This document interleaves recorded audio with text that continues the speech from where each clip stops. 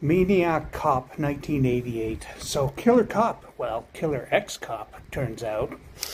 Anyways, uh, yeah, an unstoppable killing machine. Uh, it's, it's your typical 1980s uh, type killer movie, but it's actually fairly good. Uh, I enjoyed it. Uh, it it uh, it had a lot of action in it, so it was it was a pretty good watch.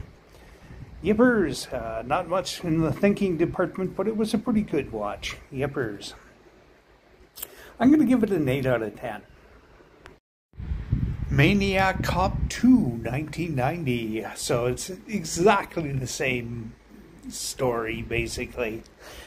Uh, killer cop come back from the dead, blah, blah, blah. Anywho, uh, have some problems with this, uh, technical issues like a cop needing a hacksaw to open handcuffs when they have handcuff keys. Yeah.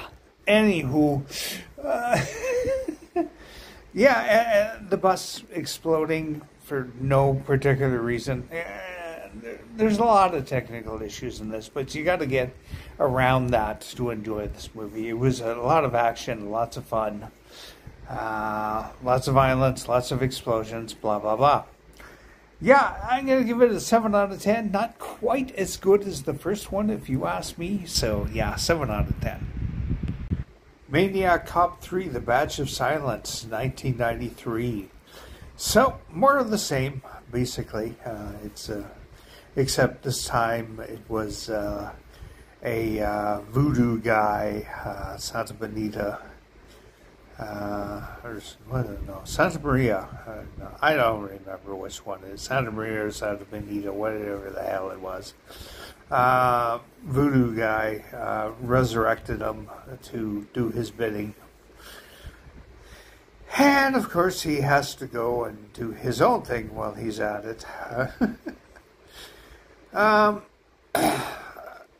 I, don't know where a cop gets a submachine gun. Uh, so you know. Anyways, but uh, it's it's pretty good. Uh, lots of action, lots of uh, excitement. Uh, not quite as good as number two, which was not as quite as good as number one, uh, if you ask me.